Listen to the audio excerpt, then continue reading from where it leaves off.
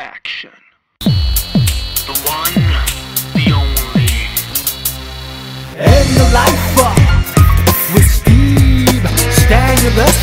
In the life uh, with Steve Stanulis.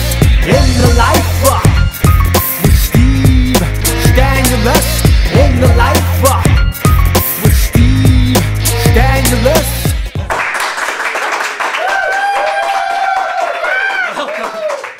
The with Steve Stanulis, I'm Steve Stanulis. We again are at an amazing venue. We are at the DL, which is at the Lansing Ludlow, which is probably one of the top spots in the Lower East Side, and one of my favorite places tonight. I'm so grateful to be here. We have an amazing show tonight, and we're going to start right off the bat with a dear friend of mine. Was a Sopranos regular, probably had one of the biggest whacks in the history of Sopranos. My dear friend John Bianco. Let's get it up for Johnny. Actually, sound pretty good. That sounds pretty fucking good, That was a nice little intro. It's actually really good. Yeah, I like that. What's going on? Well, you know, just uh, a couple of things. I'm real happy to be on your show. Yes, I've been trying to get you on since the inception, and uh, Since the inception. I've been trying to get you, and it's been a little tough. And, uh, you know, finally I'm here. We are here now. Before we start a whole, I want to go through a whole series of things with you, because uh, you know so a lot of people don't notice we have a 20-year relationship, not physically, but 20-year relationship. Because you got me uh, nervous right well, And my girlfriend may have something else to say. well, I mean, you know, I mean, I didn't want to come out on the air, but um, no pun intended. No pun intended. You don't want to come out on the air. Exactly. um, about 20 years ago, uh, we both started dancing at Chippendales. And, uh, well, you were actually on the circuit, and I was just starting out. I was 18 years old. That's right. And Johnny was like already established. He had hair down to here. And It was uh, actually down to here. It was actually down to there. It really was. And uh, the first time I ever started dancing, that- the first time I was going to come out, I was actually supposed to MC. Which basically, for everybody who don't know out there, what I'm seeing is, I was the guy on the microphone that was going to bring you through the whole show. So I was all nervous, and I had like an outfit on. I thought I looked good. So uh, as I was ready to go on a minute before, John goes to Well, me, "What did you say?" So he's getting ready, you know, and uh, I got some of the guys in the background and stuff, and I said to one, you know, some of the guys, I go, uh, watch, watch me, watch me, watch me, watch what I say to this guy. So he's looking in the mirror, he's looking good. I go, so, uh, so Steve, are you, uh, is that your outfit? Is that what you're going out with? Yeah. And uh, he looked at me like, "Wh- wh- what do you mean? Yeah, I'm ready. I go, oh, no, no, it's all right, all right. So, yeah, yeah, you look good. Go ahead, go ahead. It's good. No, fine, you're all right. Yeah, yeah. Don't worry about it, yeah.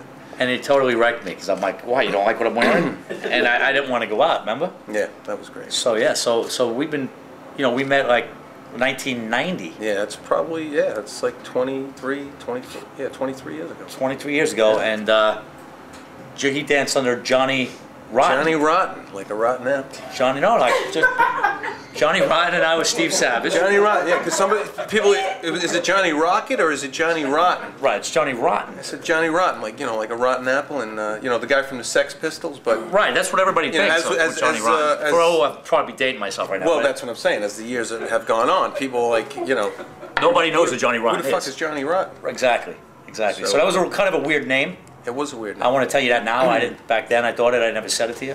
Yeah, it was a little. It wasn't really a sexy name. It was edgy.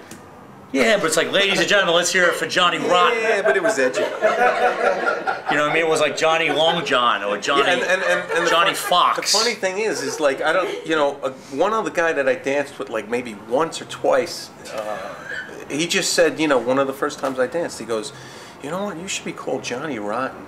And Mm-hmm. I was like, yeah, what the hell, you know? Did you have a different name prior? No, that was it. It was just- I mean, did you just come out Johnny, like just came out? I was gonna, I was gonna be Stephen Lords. Stephen Lawrence. That's, That it. was the name I picked. I sounded like a gay porn star. that's that could be problems. Yeah, you could have some issues with that name. Yeah, yeah. So then I was like, the guy's like, well, Steve Savage. I'm like, yes. that works. Yeah, It worked. Yeah. It worked. Yeah, Because it was sexy but savage. 23 years later. 23 years, I'm still fucking milking that Steve shit. Savage, yeah. I. More people know me as Steve Savage. That's yeah. In fact, when I was a cop, people, you know, some of the guys that we're still friends with, some of the dancers, yeah, you know, they, they got me on the phone, Johnny Rotten. You know? Right, right. When I was a cop, and people used to get pulled over, and they would say, "I know Steve Savage." The cop would like, "If you know him, what's his real name?" Yeah, what's his real? Name? Well, that's uh, Yeah, Steve Savage. I know it starts with an S. Something. Yeah, something like Stan, that. Sue, Stan, yeah. something. So, yeah. but yeah, so Johnny actually was, you know, when we were dancing, you were like one of my mentors, bro. You know, I mean, like I when. Well, I don't want to toot my own horn, but I was pretty, I was pretty fucking No, you- sexy. I was pretty good. you No. I gotta be honest. No, listen. I, I- I mean, I still I look gotta be- halfway listen. decent right now, but Uh, listen, you I gotta be honest. Like you know, Johnny had like, a lot of guys were like um, either what had good physiques or were good looking but couldn't dance, or weren't that great looking and could dance but didn't have good physiques. John, you know, you, you had the whole package. yeah, I had that. No pun intended. You know. Are you like trying to come out now? No, I don't know. No, just it kind of works. 'Cause I think I'm gonna like shift over a bit. No, no. So, but yeah, so that's how we met. Yeah. And then uh, John, he- you're always actually in the whole acting thing, and and Yeah. I never really cared about it. Yeah. And then, um, you know, as time went on, I kind of got into it as well. And then we did our first short film, 1997. Was it 97? Yeah, 90. No, 2007. 2007. 97. Again, he's going back. Right, and uh, Dick and Jane. Dick and Jane, that's right. And uh, we had a lot of fun on that. Yeah. You, you came to me with an idea. You wanted to do something bizarre I did. with this guy. Uh, you know, you wanted to do something, and then I wanted to turn in the well, what happened was we had, fr- again, you know, we, it's edited so we could edit shit if we didn't like it. I had friends that also were dancers, but were fucking gay for pay. And, and they would have These people don't know these terms. Well, for, all those gay, all people that know what gay for pay is, it's basically just is that? straight dudes that'll do things for money. And um, I had these two guys, That's pretty questionable. two guys that we used to dance, real fucking big guys, and um, they would like people would pay them to do crazy shit, and like you know, one guy would pay. My friend was like Byron. Byron. Byron, he was like 250 pounds jacked, and uh, this guy would pay him to step on his face, and it was it was crazy.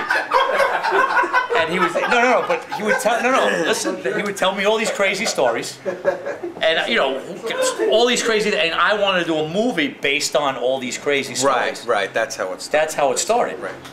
He want, you wanted to do a movie based on Get this, my face stepped on. this guy that was. That, no, No, no, I think. I'm you not. wanted to. Oh, you. Right, okay, I get it now. So you wanted to be the guy doing the fucked up shit to people. Right, right, because I, because because those were all great stories. That's a great concept for a movie, isn't it? yeah. So, So, we came up with Dick and Yeah, so then, then, then I said, let's turn it around so that certain things are being done to you right. That your wife doesn't know about it, and then the flip side is you don't know that, you know, because she's kind of left out in the cold all the time. She's actually turning tricks, Right, as well. and you don't know about her, you know. And and I got to be honest, that one That was our first. We was a short, and that Yeah. won the New York Underground Film Festival. Yeah. Actually, Anthony, my friend, my good friend Anthony uh, Gerace, he said that uh, you recently put it on Facebook. Or, or You did. No, no, just You two. recently. No, you did, and I put it on Facebook. Oh, wait, wait, no, you're right. You're right, dude. I put it on An Abbott and Facebook. Costello Right, right. routine. You put it on YouTube. No, no, you put it on YouTube, and I found You, it. you said I was all right spite. Right, and then I put it on Facebook. Right, you're right. I did. That's what he, he goes. Steve just posted Dick and Jane. I was like, all right, that's. Yeah, no, I, I didn't know you And put then they're on. like, it was. Isn't that the Jim Carrey movie? And I'm like, no, that's that's fun with Dick and Jane. Right, Jane. this is just Dick and Jane. Right, and then we did the second thing we did was because of you, Because of you. was where I had another idea. They're and- all dark stories. They're all dark, and my daughter has cancer, right. and I'm a degenerate gambler. Right. That's And right. I end up killing myself. It was a comedy, you like It comedy. was a, yeah, it was a, it was a light comedy, right? He, he winds up killing him. He winds up killing him. You, know, you wonder what goes on in my head. I wrote this stuff too. It's a light comedy. No, really, I'm a normal guy.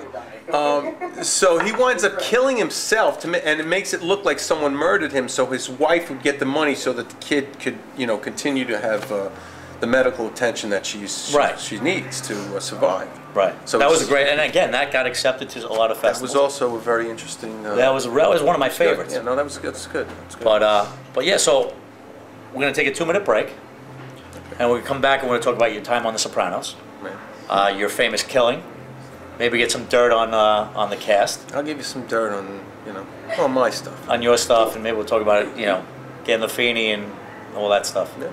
All right, so we'll be back in two minutes, two seconds. We're in the live with Steve Stanulis. We'll be right back.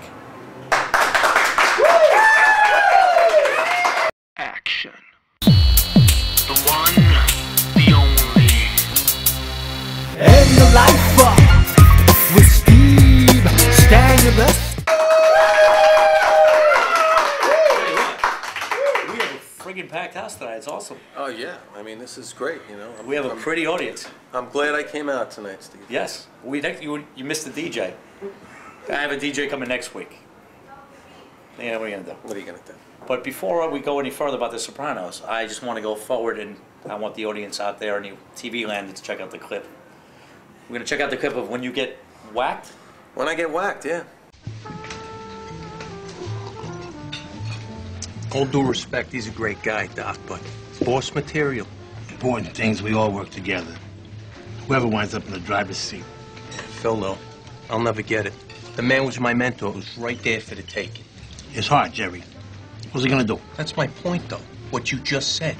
Johnny goes away. It's Phil's turn in the driver's seat, and his heart gives out. Right. His heart. I know. What? It's a metaphor. He lost his balls, is what I'm saying. Let's say it then. Walt fucking Whitman over here. Ladies. Hey, You all how you doing? Should we get some more wine? This fucking waiter on sabbatical. What's the name of that Sangiovese we had at Quattro Gatti? Huh? Didn't you... Come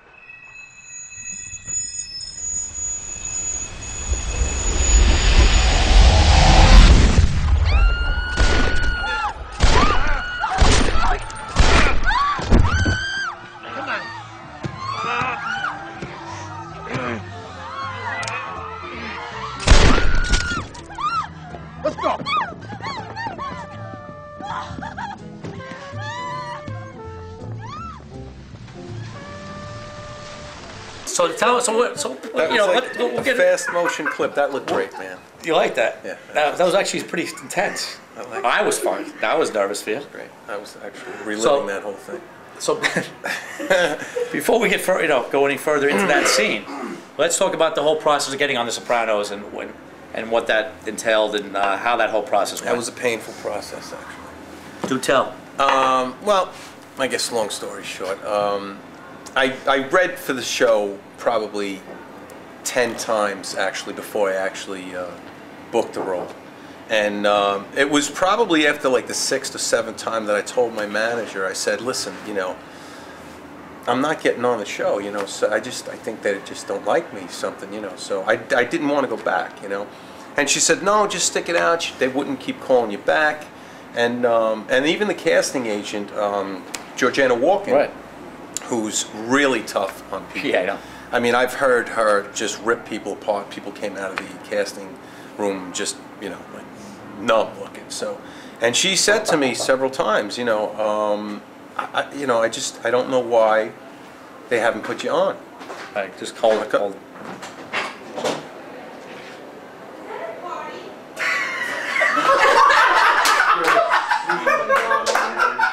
We need, we need that red light out there saying filming. I hope you're rolling this. This is great. That's great. So, uh, We, we, we need the, uh, Now you're you're coming in now. so, so uh, settled? is everybody settled in? Take your, take your coats off, stay a while. What, are you wanna get comfortable? You want to go pee? Would anybody like to join me on the couch here? Is it, me? Not you! So, uh, is it co-guest or something? so tell us, when, uh, tell us about the, the whole Sopranos. Um, your whole process of being on Soprano. So, um, yeah, as I was saying, uh, you know, I, I thought that after about six or seven times, um, they just didn't like me. And uh, as I was talking about Georgianne Walken, um, you know, she even said to me at one point, I swear that wasn't me. Did I, did I mention to you that we're gonna have a DJ next week? I mean, that sounded, you know, I was on a cruise last week and it sounded like we were just leaving it. I just had a flashback of swimming with the dolphins or something. So, so, so going back to the whole surprise. So, Georgianne Walk. Georgianne Walk. we've heard of her. She's tr- she's she's cr- crazy, but so she's she's like, listen, John, I you know to be honest with you, I I don't know why they haven't gone with you on anything yet. Right. So at that point, I said to my manager, I said, listen, you know, maybe they just don't like me, and she's like, no, no, they wouldn't keep calling you back. So anyway, the tenth time, I finally get up there, and I and I get a call back again, and I read for uh, a character. Of, I forget the guy's name, but he's he's the guy with the glasses. Right. Um, when I left, uh, as I'm driving home, my phone rings and she's like, "You booked it." She's like, "But not the part, the guy with the glasses. Another part, Jerry Torciano."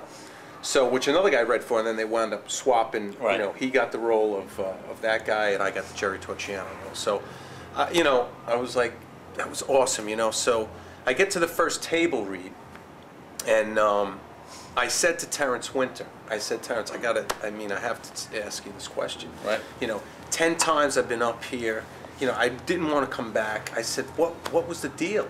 He's like, John, listen. He goes, if we didn't like you, we wouldn't have wanted to keep seeing you. He said, so um, we did like you, but we just were waiting for that perfect role that we thought you were exactly right for. And I said, listen, you know, and he said, we thought you were, you know, a very good actor, and we wanted you on the show. Like I said, it was just a matter of time. So that's how I got it. And then uh, Now they had you blonde, right? now they had me. Yeah, this was David Chase's idea, and I didn't know about this. You know, I'm you know, I, you know. I thought I was going to be wearing a wig. I gotta be honest with you. I I, look, I can see with a lot of different hairstyles. Blonde is not one of them. Yeah, I'm like, come on, you know, I'm, I'm Sicilian, you know, I'm gonna be having blonde hair, and he, he wanted this whole like surfer California gangster. And uh, again, David Chase is just, I mean, he's out there, he's a brilliant guy and all, um, but he does these crazy, weird things. So how was how like is, now? Obviously, another funny story is I auditioned for The Sopranos, and I actually got a role, but not as intense as you, or as, extensive as yours. But my first day, Yes, I I remember remember, seeing you. Yeah, and I you were all dappered up. Yeah, we, we broke for lunch, and Yes. uh, and I, I, I said, was was that Steve Savage walking? I didn't say Steve Savage. You Savage. didn't say sad, right? I said that, that's, Savage. I said I thought I was seeing That's the fucking you know, stripper, dude. at- That's the fucking yeah. stripper, dude. That's I said, fucking. we're down at Silvercup Studios, and I just saw Steve walking, and then he, he's like, "Oh, John," you know, and I had Yeah. on this, you know, black suit with, uh, you know, the white collars, the cuffs, and all that and stuff, and um, it was So- it was a great, it was a Yeah, great it was a lot of fun. But so who's? I mean. Well, here's the thing, though. Now, the thing with this, and nobody knows about this, is so I finally get on the show, and after the second episode, while I'm waiting for the table read to get in for the second episode, um, pretty much this guy comes over to me and he sits down next to me and he's like, "Oh, I'm excited. You know, I finally got to get on the show. I get to kill this guy Jerry." Is that how you figured out you were getting killed? The first time, yeah, and I look at him, I'm like, does that say Jerry Torciano? And he's like, yeah. He goes, don't tell me you're Jerry Torciano. And I'm like, yeah, I'm Jerry Torciano. And I, so I didn't know about it. So I was pissed. So now here I am getting killed on the second episode after it took me three years to get on the show. And I called my manager. I was, I went into the table read and I was like completely pissed. And I was, you know, whatever, you know. And she's like, just listen, John, you got on the show. Anyway, long story short, we shot the whole scene. I get killed. Four weeks later, she gets a call. They're deleting. They're not going to show that. He wants to keep you on as a recurring character. And then I had gone on to uh, do the, the last two seasons. I did ten episodes and complete. So Now, getting off off topic with that, I mean, I, I can I can answer some of those questions myself, but so, sort of crowd out there, all our viewers in the you know that watch in TV land, which is what is it, 50, 60,000? Um, tell them about who like who you, now, tell them about what? Spit it out. I'm, I'm like my full Johnnie Walker. Have another watch. drink. I'm like, Tell them tell them basically about what? the cast. Who in the cast is like you know you know I- Who in you the know like cast? Mike, Michael Imperioli. Michael Great Pitt- guy, yeah, super great. quiet, real weird. Well, Nice guy. He's just a little. He's a but little people don't know that. No, that's what I'm saying. You know, Who- he people, who- he's a great actor. No, he's a great actor. No, no. saying- What I'm saying is, you wouldn't think that he's a quiet, No, you know, right. guy. So who surprised you the most backstage? It James Gandolfini? Was Michael. Imperioli? Yeah, probably Michael, Michael Imperioli, because he's so laid back and quiet, and he He's doesn't. almost say- eccentric. Yeah, he doesn't say anything to anybody, and yet he could, you know, pour it on when he needs to pour it on. Right, but really laid back guy. Yeah, so he's he's pretty much. I mean, everybody else is pretty much what you see is what you get. I mean, Like, I you know, Frank Vincent, Frank who I was his right hand man. I mean, Frank brings to the table. He's Frank. He's Frank, but he's not acting. He's Right. Frank being Frank. um, Tony Sirico, you know, guys. I mean, right. Paulie Walnuts. Listen, I'm from? Brooklyn. They're all Brooklyn guys. Right. Um, so they bring that, and and Gandolfini, he's such a talented actor, and he really, he's not only, he's very giving also. Mm. Like when you're in a scene with him, he wants you to shine. He's not going to try to, you know, out. I'll tell you again. See, stuff. with, so with me, and again, I have to go back and forth only because I only go by my experience. I was on the last scene of the la- of the day, yeah, he was probably. and it was like 16 hours, and he was fucking pissed. Yeah, so he doesn't want to be. Bothered. He don't want to be bothered. So I'm like, hey, nice to meet you, Jim. Right. He was just like, give me a dirty look. I'm like, okay. Yeah, he's done. I went to do the scene with him. He, he was pissed. He was getting pissed because they kept cutting. And He Right. just wanted to get the fuck out of there. So Right. my experience with Gandolfini was a lot different. Yeah. No, he. Plus, he, he didn't really know me. You know. Right, He goes, he's- "You Steve Savage, right?" Doo-doo. nah, he's he's great, man. He um, Yeah, no, like I said, you know, anybody at the end of the day, you know, uh, and at that point, that I think that was the last season. Right. He was getting tired of doing the show. Yeah. You know, he was just like, I, I need to move on. You know, I'm just, Right. you know, because as an actor, I mean, as actors, uh, you know, you'd want to be working, and you'd love to have a steady gig like that, but at the same time, you know. Well, you know what? want to play different characters. that's you want true, to do different things. You know, that's It's just human nature. I'm sure Derek Jeter wakes up and it's like, "Fuck, I got to drive to Yankee Stadium again, fight traffic, hit balls." I mean, everybody just he gets complacent. Yeah, I mean, I guess with actors, it's a little, it's a little crazy because you know we, I mean, basically, uh, we, I, you know, we want to be kids. We want to play make believe. You know, I know, but I'm just saying it's, it's it's human nature. I mean, whatever you're in, no matter how Yeah, good, right. you're worried about the next and it's a blessing, you know. If you're a working actor, it's it's the hardest thing in the world. You know, it's uh, you know, just to be working, it, it's it's a great thing. So, I, you know, I was blessed to be part of that amazing show for two seasons, and uh, you know, I thank my lucky stars for that. And, Now, uh, let's talk about real quick. Um, you probably have one of the top two, I would say, whacked scenes, which we just saw. Uh, You'll yeah. tell us about that. Yeah, that that uh, we shot that. That took about 15 or 16 hours to shoot, and actually, um, we broke it. The the part where my head actually goes into the plate Right. was shot on another day in the studio. Right. So I still kind of had hopes. Like I'm like, wow, they didn't put the last bullet in my head, so maybe I'm not really Right, gonna right, be killed. So like for, the, for the two weeks that you know we didn't shoot that scene, I was like, maybe there is still hope. You know, maybe David Chase will, because he's capable of anything, and it would happen once before. So I was like, you know, but I knew it was the last season of the show. So um, Was that whacked? it was great. I mean, I had four different suits, Right. and they were all squibbed up. Right. And um, across from me, Stevie Van Zandt, who was another great guy. Mm-hmm. I loved working with Stevie. Very friendly, nice guy. And he's sitting across the table from me. He's like, John, you do realize uh, those squibs are going to be blowing up toward me. He goes, so if you can, try not to, you know, aim them right at me. I said, Steve, I'm taking everybody down at the fucking table with me. That's funny. I said, if I'm going, everybody's getting fucked up here. And uh, he's like, John, I'm telling you, man, don't don't do it. So, uh, you know, and it, and it hurt. You know, I cut my hand open falling down at one point um, because the squibs do hurt. You know, they're like little firecrackers on you, and then you have to time all of that right. You know, Right. so uh, even though you have several cameras set up on you, um, you know, I couldn't see the guy, so. They're making the popping, you know, they're making the sounds of the gun going off because, again, the gun wasn't actually being shot. Right. I'd have to watch, s- somewhat watch the stuntman going, okay, it's going to be like one, two, three, four. And, you know, if you hear the sound and then I go like this, or if I go like that before the sound, it just, you know, fucks up everything. And they had four suits, so he's got, you got four shots to get this perfect. Right. And, uh, you know, I mean, everybody was pretty happy with it. I was pretty happy Yeah. with No, it. I mean that's one of the biggest. Gets some my biggest mother hits was a on little YouTube. disturbed. She's like, I really thought you were getting killed. I had to call you up to make sure Yeah, you were yeah, okay. And so my, my line is, you know, now you know I look pretty good for a dead guy. So, but uh, it was it was like I said. Would it you ever was, dye your hair blonde it, again? It was an experience. No, absolutely not. Not- We'll be back in two minutes and two seconds. He's gonna hang out one. We have one more segment.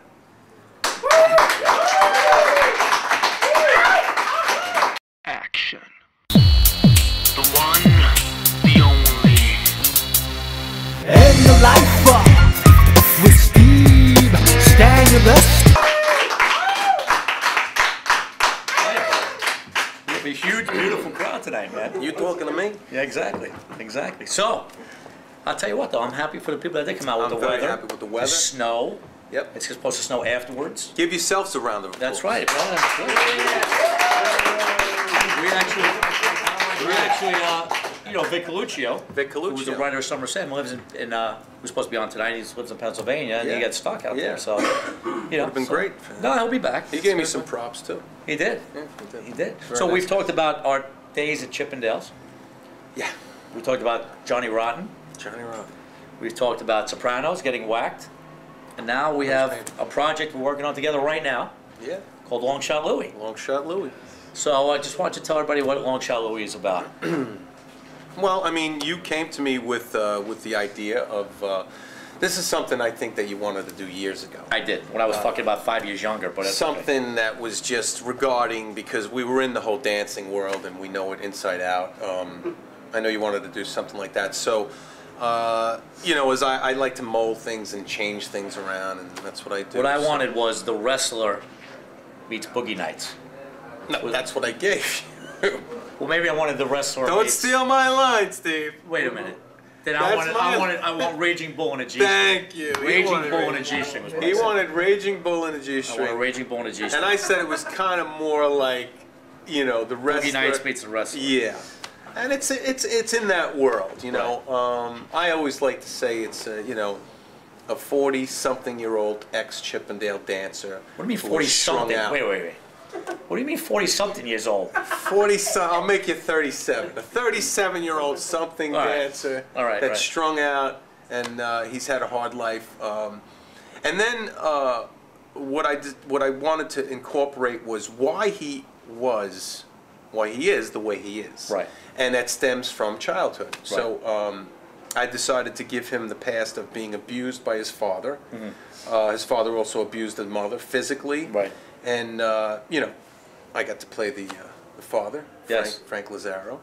Um, and so it flashes back to the late 80s, early 90s uh, to show the beatings and, and the stuff that he went through and why he turned to drugs and alcohol and why he became the person he became. And throughout that uh, turmoil, he uh, stayed with his high school sweetheart, Alina Right.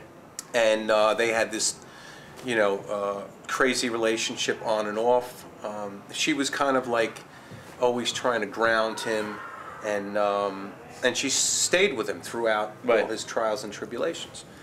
Um, and then it brings you into today, 2013. Uh, and it just kind of takes you on this journey uh, of his life, and you know, Yeah. Um, and and again, it's a dark story. You know, It- we- we're drawn to dark stories. everything we do is dark. It's yeah, but I mean that's it's like real life stuff. So it just, you know, not only do I like to entertain people with the films that you know I make and we make, um, but I like to touch people in a way that they could relate to the characters on screen, and either with either through themselves or they may know somebody like my uncle's like that, my ex-boyfriend's like that. You know, I know a person like that, and it just it draws you in. Well, and the, and the cool thing about this film, um, again, first of all, it was one of it's favorite my favorite thing I've ever done. Mine too. And uh, we just got accepted to Soho International Film Festival, which is awesome. We'll be screening there. Yep. Thank you, thank you. But, uh, but um, Steve but Savage and Johnny Steve Rotten. Savage and Johnny Rotten, right? Who, if you ain't right, if you told me 20 years ago, I used to be walking around. Who would have thunk it? I know, but uh, but the whole thing is it's it, it's a great story and it's a real New York story, Yeah, it's a real. New and, and I like the fact, without giving away the end, yeah, don't give that it does. No, no, I know that it, it doesn't end. I don't want to say happily. It, it's not in your typical Hollywood ending. Well, yeah, I mean, I you know, listen, I love Hollywood films, uh, but you want to still have that grittiness of that independent feel because that's that's what people gravitate to because it's it's more realistic. It's more for the uh, your everyday man or your everyday person that Right. could relate to that type of character. Right. Um, and those are the type of characters that I like to write about. Sure. You know, just real people. Um, and I can't say enough about the amazing acting that we had in the film. Well, thank you. I mean, I, I really put. oh, You mean the rest of the cast? you mean the rest of the cast? Well, yeah, and you were okay too, Steve. But uh, No, no, but yeah, no. everybody, I mean, you included, everybody did an amazing Yeah, job. Um, you just, I mean, there isn't a moment that I didn't believe, you know, and I've, you know, I'm editing it. Uh, I'm still tweaking things, but uh, you know, watching it, I could watch it and be totally absorbed into the story and um, not be like, oh, you know, I just, you know, there's always second choices and second things and that you hate as, as a filmmaker, you know, but. Uh, it's like I like you said, said you know, it's it's definitely it's it's a good film. It's the best thing I think I've done, and and uh, you know, you Yeah, I well, agree. so. I definitely agree. So yeah, and again, I, I you know, I'm curious to see the feedback at Soho. Yeah. And uh, hopefully, with this motherfucker sold. Yeah, that's the goal, man. So we could do all this stuff, but uh, let's get it sold. Well, that's right. Let's get it paid. It's not what and it's, it's time to get payday, Gotta pay right? the rent. Yeah. Ladies and gentlemen, one more time, let's get up for Mr.